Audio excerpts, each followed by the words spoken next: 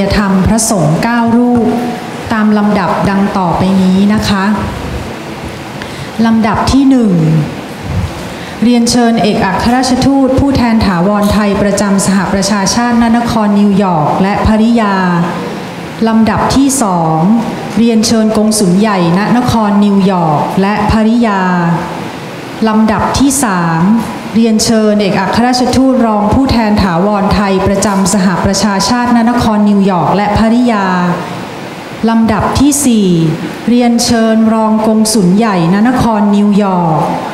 ลำดับที่ห้าที่ปรึกษาทางทหารประจำสหประชาชาติและภริยา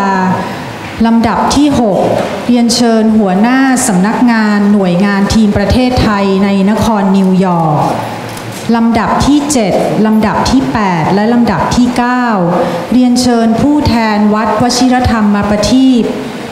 และผู้แทนสมาคมไทยต่างๆ ในนครนิวยอร์กค่ะกราบเรียนเชิญทุกท่านค่ะ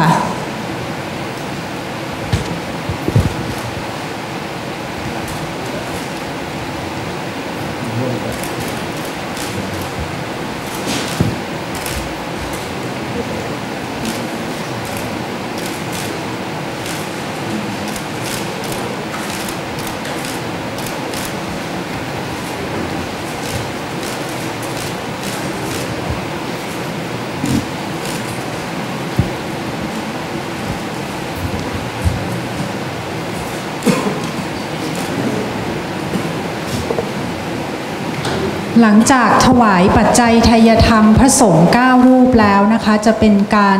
ถวายพัตตาหารเพลงพระสงฆ์นะคะ